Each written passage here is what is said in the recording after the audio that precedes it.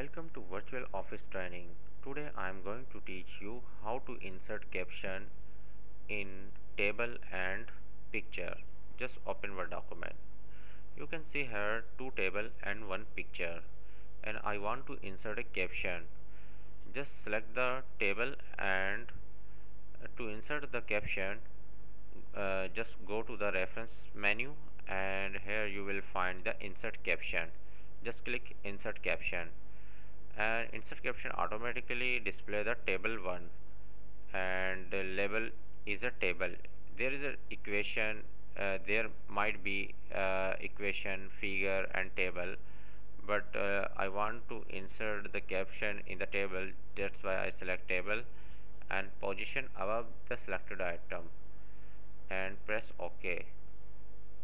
Uh, it will uh, display the caption above the table. You can uh, increase the font style to 40 14 and uh, if uh, you want to insert the another uh, table caption just select the table and go to the reference and you will find the insert caption.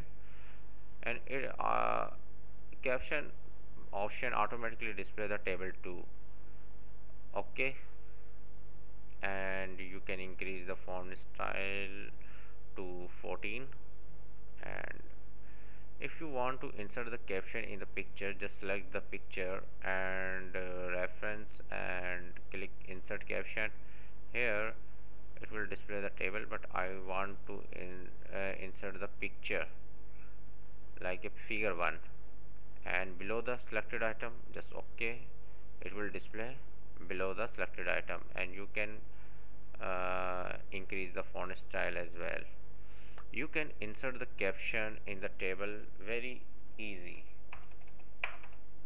And it is very useful option in word document. You can insert uh, because when you are working in the uh, report it will be very helpful to insert the caption in the table and picture and hope this tip will be very helpful for you. Thanks for watching